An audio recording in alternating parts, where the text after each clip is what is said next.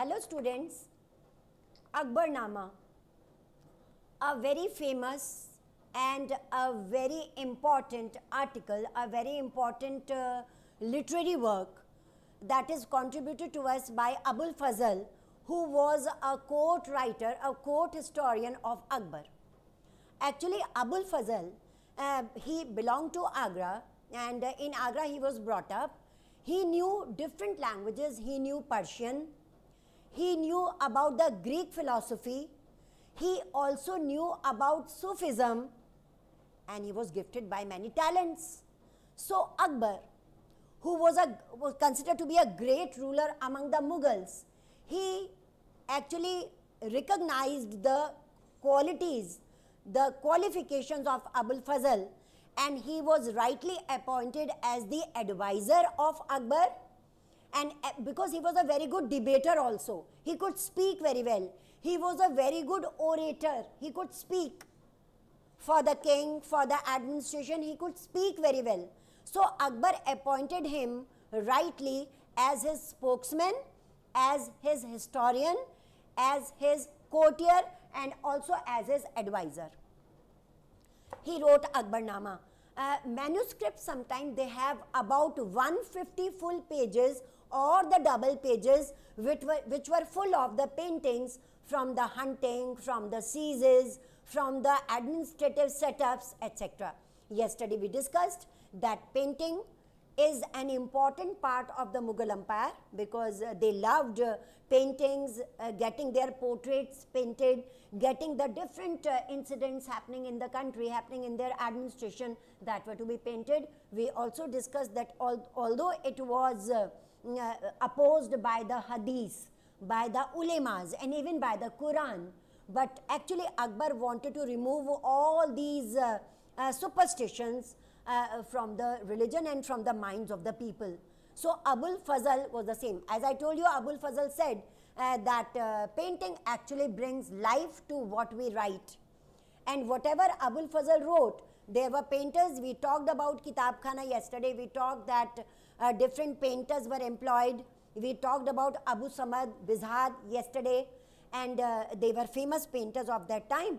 Uh, and they painted the different aspects of the administration, the portraits and the different scenes that the Mughal emperors asked them to do. So Akbarnama was written. As I told you, Abul Fazl was gifted with many talents. Akbarnama is divided into three segments. Two of the first, the first two segments are the chronicles.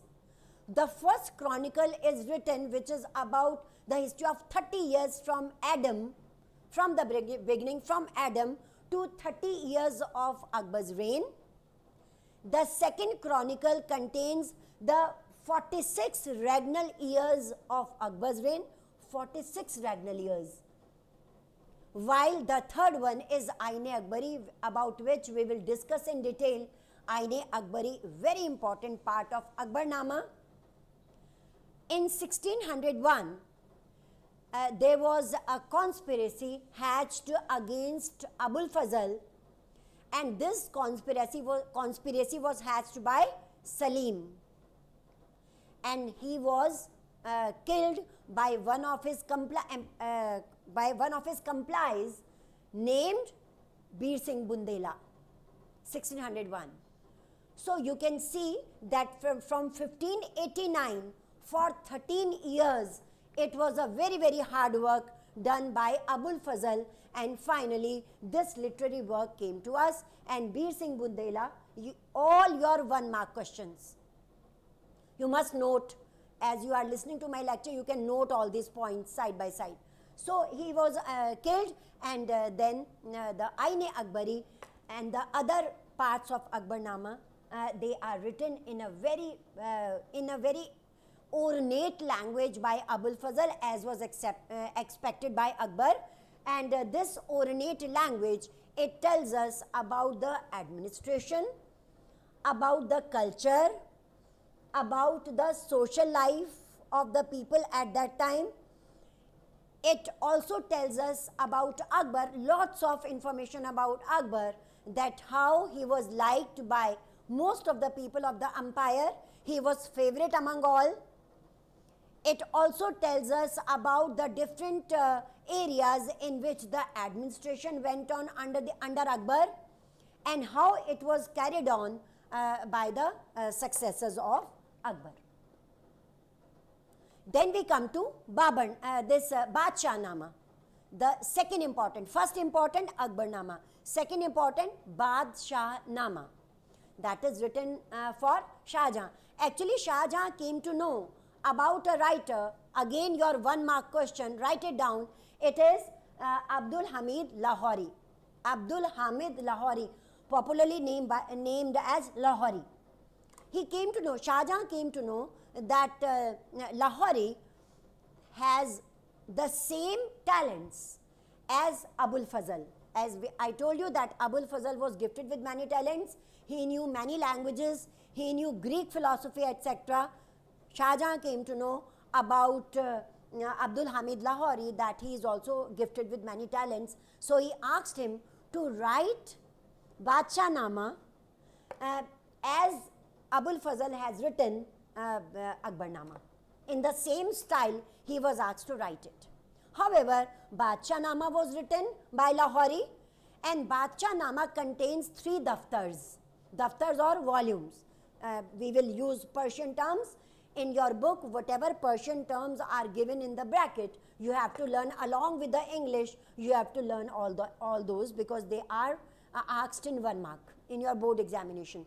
So they are written in three daftars the first and the second one written about Shah Jahan, about his achievements because the rule of Shah Jahan, the period of Shah Jahan is also known as the golden period of the Mughal Empire because a number of buildings came up. He was, uh, uh, he was uh, an appreciator, he was a lover of art and architecture. A number of beautiful buildings came up during Shah Jahan and uh, uh, all were written in Badshah Nama about Shah Jahan. But because of the age infirmities, old age infirmities, the third one was written by another historian called Wazir, uh, another historian called uh, Wasif, or his name was Waris, W A R I S. And the two daftars which were previously written, we do not know why they were revised. It is not given anywhere. The last daftar, the third one, was written by Waris, another historian, and the first and the second daftars were again revised by the Wazir of Shah Jahan, and his name was Sadullah Khan. Your again one mark question. Who revised the two daftars, the two previous daftars written by Lahori? You will write down Sadullah Khan, the Wazir of the similar terms are there, don't get confused uh, the Wazir of Shah Jahan, Sadullah. Sadullah Khan. And then who completed the third daftar because of the, and why? Because of the old age infirmities on Lahori. The third one was written by Waris, W-A-R-I-S. So like this, Badshah Nama and Akbar Nama, they became very famous literary work. Actually, uh, they were both uh, in the dictation form that is dictative, that is in the form of literature, and they are also in the other form, the form that was called lyrics because most lyrics, because most of the literary works, uh, they were loudly sung in the court. Because kings used to feel very proud in all these things that see uh, for our life, uh, for our lifestyle, for our gatherings, for our um, activities, uh, these literary works have come up they have been enlightened. So they were loudly sung. So they contain two types of aspects, one literary aspect and the other that could be lyrics that could be sung loudly. So Akbar Nama and Badshah Nama, they throw a great light on the history of that time. Then uh, uh, I told you in the previous lectures also that whatever these literary works came up in the previous chapters also we have read in the previous chapter about bhakti and sufi movement. Uh, we have learnt about so many literary works that came up during that period also 6th century. I also told you that when east india company was established in india uh, a lot of translation work and a lot of work of compilation was going on so we have another one mark question uh, Bengal Asiatic Society. You are asked on the date also Asiatic Society of Bengal set up in 1784 by Sir William Jones. Prepare it in one mark, prepare it in three marks. Uh, uh, Sir Jones and he established the Asiatic Society of Bengal in 1784. The purpose of this society was to go through all these literary works and to work on them and translate them. Because everybody could not understand. Because Britishers you know they were very clever. When they came to India they wanted to know what we did in medieval period. Uh, what type of rulers were there in India in the medieval period? What society thought of them? Because as uh, during Akbar there were Jains there were Hindus uh, there were Christians they, there were Zoroastrians. And they all considered Akbar as their favorite king they wanted to know all this that uh, who becomes favorite among the Indian people. So for that they did translation work. And do you know students that Akbarnama was translated into English by another historian Henry Beveridge. He translated the Akbarnama into English and Nama was translated but uh, as far as Nama is concerned only some excerpts, excerpts you know some incidents, uh, selective incidents, some excerpts only were translated into, into English. And still we have so many other things to be translated. As I told you earlier also that even Ramayana and Mahabharata got translated into English because again Britishers wanted to know about our culture and about Mahabharata the name given to it after its uh, translation by Persian also, by the Persian translators also, Razmnama, because it was about the war, about the wars, Razmnama. So previously, because they were uh, originally written in other languages, old languages, Sanskrit, etc., then they were translated into Persian. Mahabharata was named as Razmnama. And then the other translation works came up in English when British East India Company was set up in India and particularly when in 1784 the Asiatic Society of Bengal was established uh, by Sir William Jones and it did a lot of work, a lot of effort were made uh, to translate these different works into English so that Britishers could know about our culture, about the life of the people in the medieval period. I hope you are uh, getting all these topics and understanding them very well. Then we switch over to another topic that is the divine light. Divine light. In the beginning of the chapter, we have read uh, that uh, uh, the Mughal kings, they considered themselves as having divine power and that God has given them uh, all these rights. So that is why they were doing whatever they liked. Like I told you, when kitab khanas were set up, painting was opposed by the ulemas. They didn't consider it and they uh, went on and uh, the aura of uh, the Mughal Empire was maintained at any cost. I also told you that the calligraphist, the ornamental writing, whoever wrote in ornamental writing, the calligraphists and the painters, they were awarded. Others were not. They were particularly awarded. Why? The teasing the others who were opposing the painting. So all this was going on. So the aim of the Mughal emperors, the objective of the Mughal emperors was that uh, uh, they are considered to be having the divine power.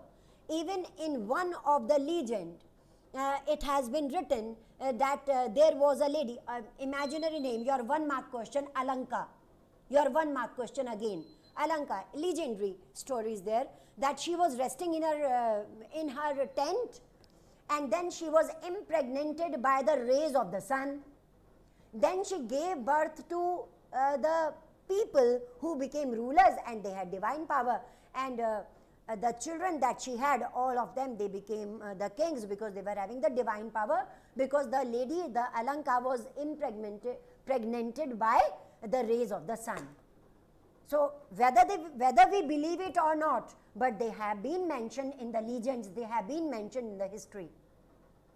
So all these, they consider themselves to be divine, that they have divine authority, they have divine power, they set up certain rules, certain regulations that how people have to be subdued before the Mughal kings, particularly Akbar. We have, uh, we have read so many times in our earlier books, in our earlier chapters, that uh, Akbar particularly, uh, he started a system of Jharokha, that in the morning he will come out in his balcony and uh, all the people will, uh, they will do the darshan of Akbar. They will see Akbar's face first, having divine and most of the Mughal rulers, you know, they have been shown in the painting as having a halo on the, the circle, the enlightened circle, H-A-L-O, the halo uh, uh, on their head. That is a divine light, the divine power. So they believed in all these. Tomorrow, I will bring for you another important topics from the same chapter. We will discuss about sovereignty, about the sovereign power. We will discuss about the provincial kingdoms of that time and we will also discuss about what was happening in the court of Mughals. Till then, it's a goodbye from me.